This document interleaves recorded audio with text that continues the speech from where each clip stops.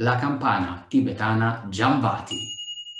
Ciao, sono Yuri Ricci, musicoterapeuta con diploma di conservatorio e direttore didattico della scuola di formazione Tibetan Armonia.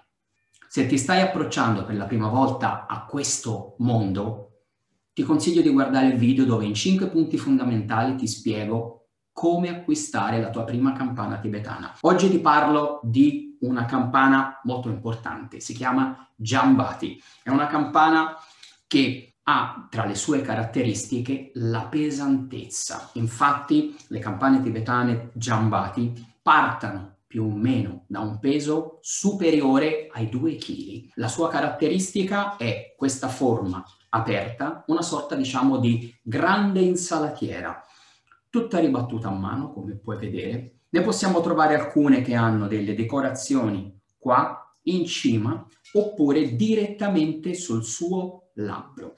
Per costruire una campana come questa è necessario che almeno tre artigiani si alternino in una maniera incredibile, proprio a ritmo uno dopo l'altro, attraverso proprio il processo di martellatura, dove potrai vedere tutte queste caratteristiche in questa sua parte, le pareti della campana tibetana. Come puoi notare però, a differenza della campana Tadovati, il video lo trovi sopra, la campana Jambati ha un fondo che è leggermente più piccolo della sua bocca.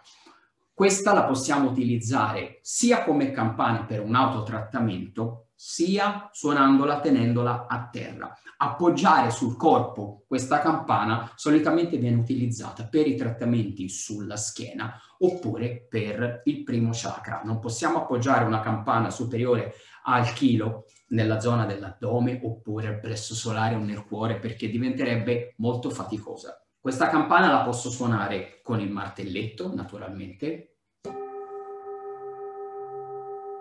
Visto il suo peso, il suono sarà molto molto intenso, ma anche la sua durata sarà molto diversa dalle campane leggere.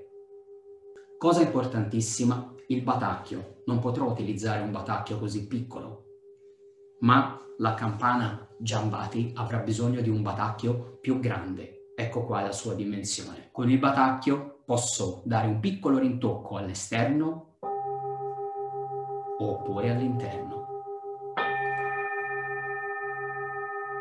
Come puoi sentire con il martelletto si esaltano molto i toni gravi. Con il batacchio puoi sentire entrambe le note della campana tibetana, la nota base profonda che dà vibrazione nella mano e le note acute, i sovratoni e tutti i suoni armonici. Suonandola al contrario con lo sfregamento Potrai mettere la nota base, che è quella più bassa, questa è un Do,